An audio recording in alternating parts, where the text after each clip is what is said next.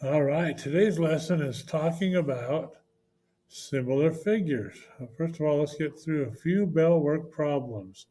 This first one is another one of those problems where we're trying to find the distance or the length of this diagonal right here, which we're going to call C, and we're going to find it by making a right triangle with this side and this side. So this side will be one, two, three, four and the bottom or base will be one, two, three, four, five lengths long. So to find C, we just do C squared equals A squared plus B squared. And then we will square both of those numbers and get 16 plus 25 and that's going to be 36, 37, 38, 39, 40, 41. So c squared equals 41. So then if we take the square root of 41, that will give us the answer that we need. So let's grab a calculator and see what that happens to be. So we're going to do the square root of 41. And so that's what this little key is. So square root of, of we got to type in 41 first and then square root.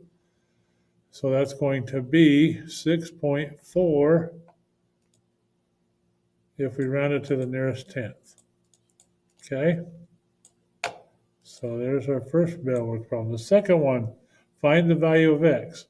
Well, we know that the two angles that add up to a, a right angle called complementary, we just know that in order to find the missing one, we just have to subtract the one we know from 90. So 90 subtract 41 degrees will give us what x is. So that'll be 8. And then 10 minus 1 is 9. And 8 minus 4 is 4. So x equals 49 degrees. Excuse me. Okay, we're going to find the missing angle. Well, this one's pretty convenient because we know that the three angles of a triangle add up to 180, and if those two add up to 120, or, yeah, 120, then we just need another 60 degrees here in order to get our 180 degrees. Now to classify this in as many ways as possible, if all the sides are the same, we're going to call it equilateral. So equilateral will be one classification, so which stands for equal sides. And then since uh, we've got all the same angles and they're all less than 90, that would be acute. So there we go. Okay, uh, moving right along. Today we're talking about similar figures. What do we mean by similar figures? Well, similar figures are, the, are described in this way.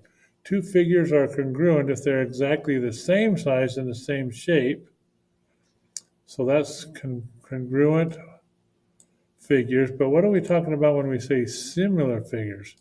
Similar figures have exactly the same shape, but not necessarily the same size. So this means that all the angles inside of these triangles, so all the corresponding angles are the same,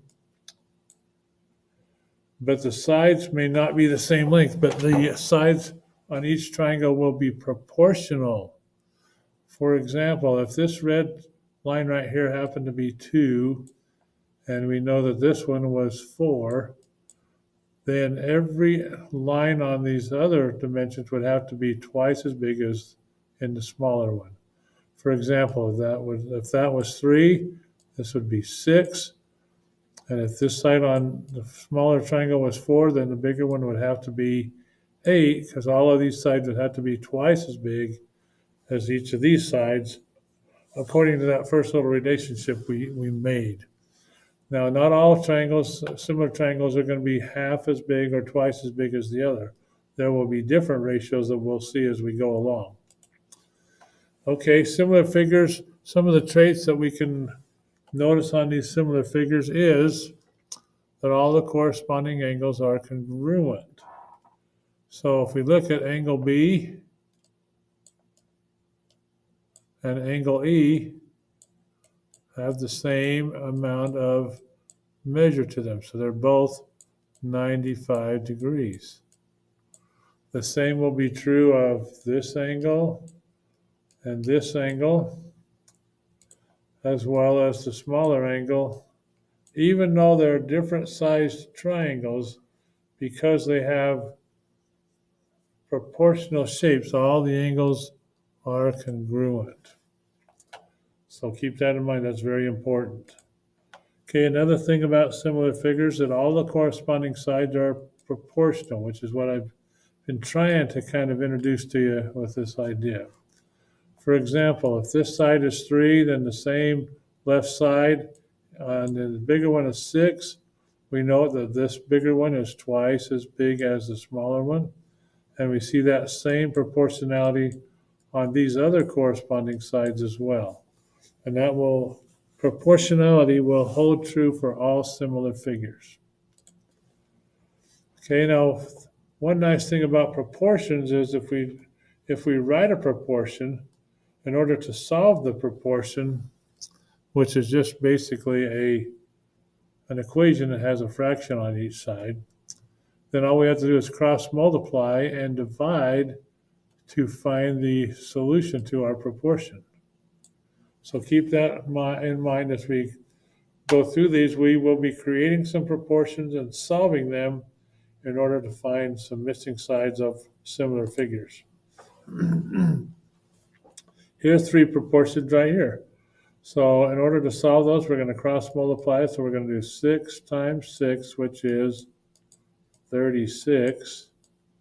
And then we're going to divide by 9. 36 divided by 9 is 4. So in this case, W equals 4. All right, on this next one, we're going to do um, 15 times 12. So we better get our calculator out. That's kind of a big number. 15 times 12 equals 180.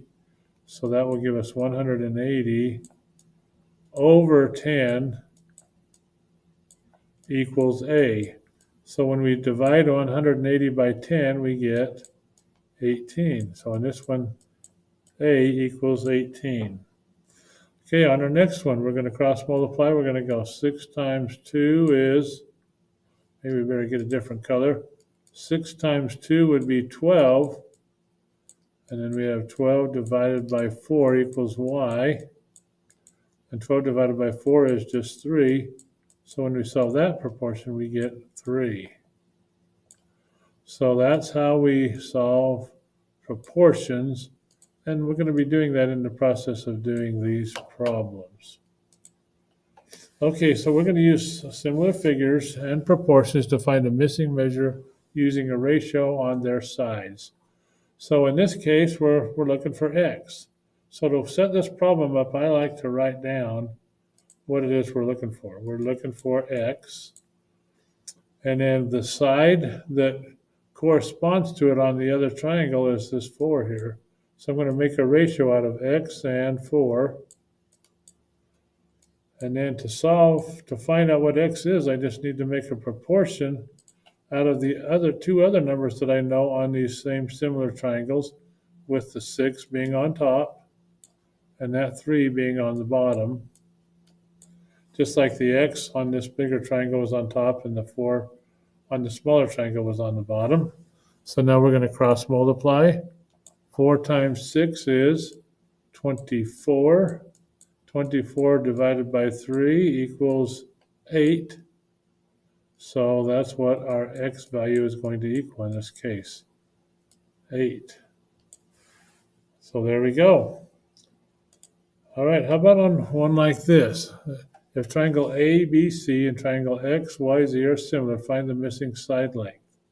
So we are looking for this missing side length over here. We'll just call it x. And since x is the left side of this similar triangle uh, to this one, we're going to make our proportion with x on top and 5 on the bottom. And that will equal the same type of a ratio of these other two sides. So we can do 54 over 6 Or if you wanted to, you could have used 72 over 8 and still got the same result when we got done.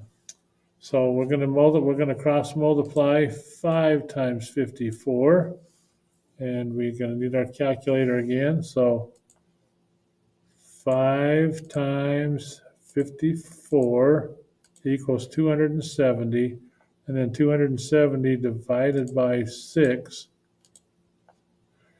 that equals 45. So in this case, x will equal 45 by the time we cross multiply and divide. So we could label it over here 45. And now these triangles have the numbers that represent proportionality on each side. Okay, what if we have some shape that doesn't look quite like a, something we're used to, like a rectangle or something like that? Well, this one's got a multi multi-sided, so one, two, three, four, five sided. So I guess it's some kind of a pentagon because it has five sides. But we're looking around and we find that we are looking for x right here. So let's write down an x. That's our unknown. Now x corresponds to this number two on the other polygon.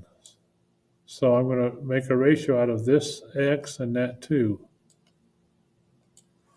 Then I'm going to look for two other numbers on each of these shapes that we can use to make a ratio. So since we use this one over this one, let's just use 4 over 5, or the bottom ones here, because those are numbers that are pretty easy to work with. So 4 over 5. And then we are going to cross multiply and divide. So 2 times 4 is 8.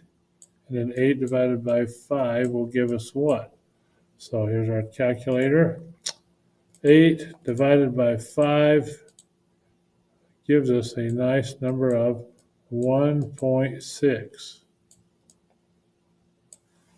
So x would have to be 1.6 for this triangle to be similar to this triangle so that their sides are all proportional.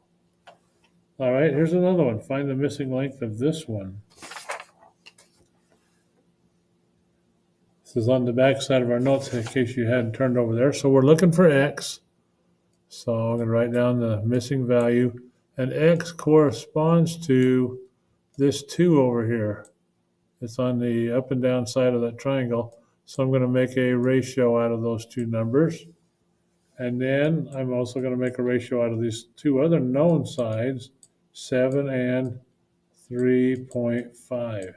Now it's important that if when you make your ratio, if you do this side over this side, you've got to do this over this as well. Otherwise, you will kind of confuse your ratio and, and get an, an erroneous answer.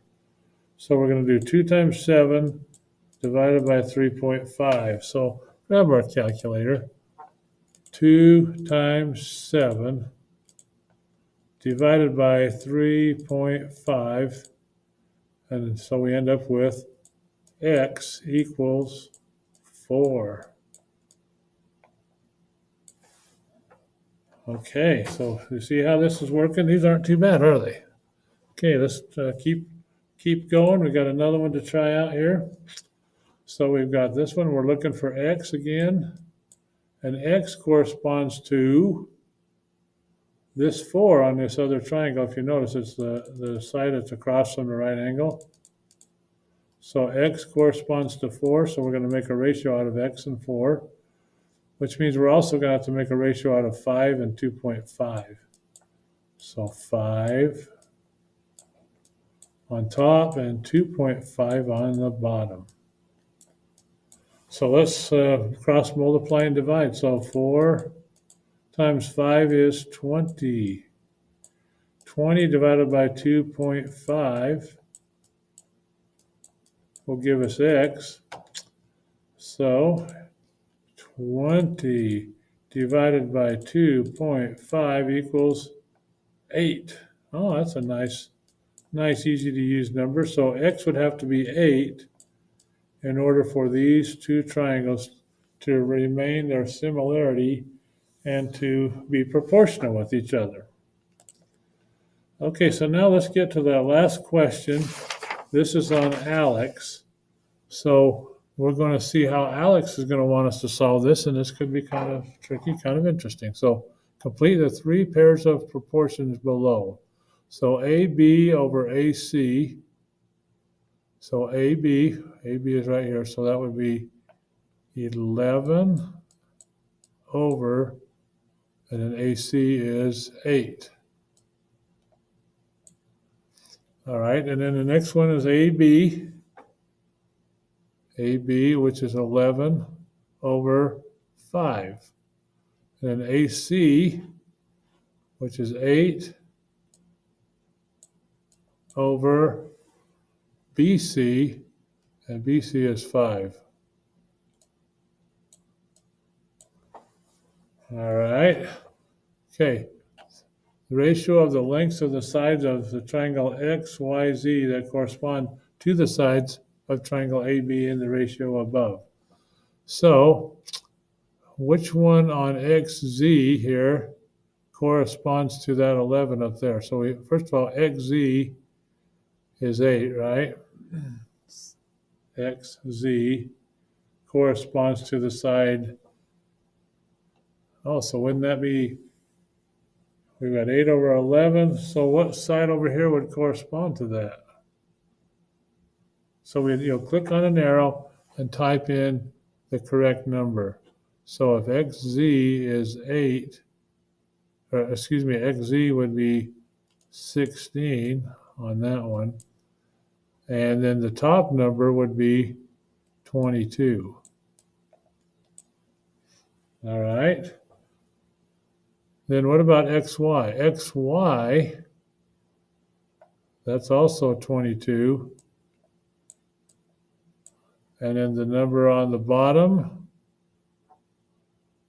which would be, so 8 that corresponds to BC. So BC, so that would be 10, 22 over 10. Okay. And then on our last one, yz, so the, the ratio of y to z, so that's that one right there is the same as BC over here. So the YZ would be 10. So we're going to have 10 on the bottom. And then on the side over here, we're going to have this value, X to Z, which is 16. Okay, now choose the correct statements that about the answers to part A. Each pair of proportions, the lengths of the sides of ABC are in the same ratio as the lengths of the sides of XYZ. This is a coincidence we would usually not expect. That doesn't sound right. If these are similar, we do expect this to, to occur. In each pair of proportions, the lengths of the side lengths ABC are the same as the ratio of the side lengths of the sides of XYZ. This is because we compared the sides of XYZ that corresponded to the sides of ABC, and the triangles are similar. That looks like a pretty good candidate. Let's put a mark on that. Okay, so this one says that they're not in the same ratio, which is not correct. And then this one, in each pair of proportions, the lengths of the sides of ABC are not in the same ratio. So both of these are eliminated because they don't say they're in the same ratio. So that is our how we do this. Now we you may have to fill in a few more pieces like AB up here would be 11 and BC is 5, right? So you're kind of filling in information so that you can see that these are the same ratios. So this is the kind of problem that you're going to encounter on ALEKS as well. So good luck on your assignment. It's ALEKS assignment number 58, and we'll hand out some work papers for those problems that you do need to show work on. Thank you very much.